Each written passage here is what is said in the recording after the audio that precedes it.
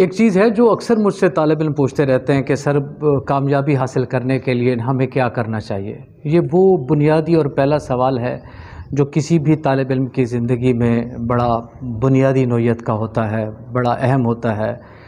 और न सिर्फ़ तालब इल्म बल्कि ज़िंदगी के सभी जो लोग हैं उनके लिए ये बड़ा अहम सवाल है कि कामयाबी को कैसे हासिल किया जाए? अपनी मंजिल तक, अपने मकसद तक कैसे पहुँचा जाए?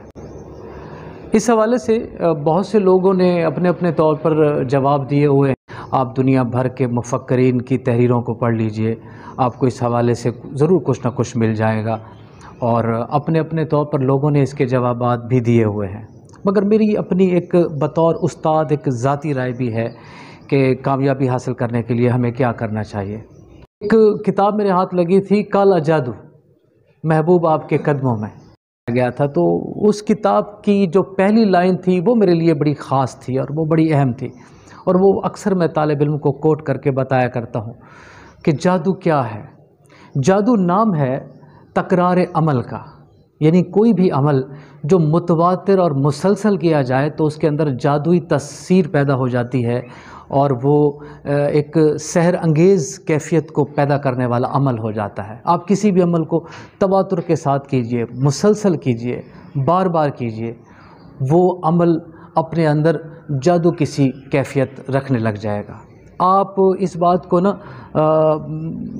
मुख्तलफ़ जो हमारे यहाँ मज़हबी जो विरद हैं, उसकी फ़िलासफ़ी के तहत भी समझ सकते हैं। मसला आपने कभी गौर किया है कि हमारे मज़हब में, हमारे दीन में ये जो लोग मुख्तलिफ़ विरद करते हैं, मुख्तलिफ़ नामों का ज़िक्र करते हैं, आपने कभी गौर किया होगा कि वो एक मखसूस तादाद में मखसूस वक्त में वो उनका ज़िक्र किया जाता है कि आप उन्हें पढ़ें तो फिर उसके अंदर एक तासीर पैदा हो जाएगी।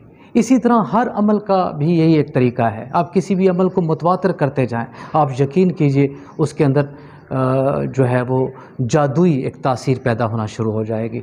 मसलन आप अपने गोल अपने टारगेट को, अपने मकसद को कभी मत भूलिए। हमेशा याद करते रहिए कि मैंने ये करना है और मतवातर और मुसलसल उसको जहन से कभी भी महव नहीं होने देना।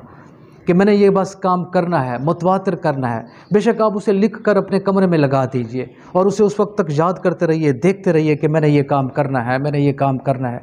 ठीक उसी तरीके से जिस तरह के एक जो है, वो विरद किया जाता है। आप फिर देखिए कि आपके अंदर किस तरह एक तब्दीली आना शुरू हो जाएगी और आप अपने मकसद के बिल्कुल करीब होना बिल आखिर आप अपने मकसद को हासिल करने में कामयाब हो जाएँगे।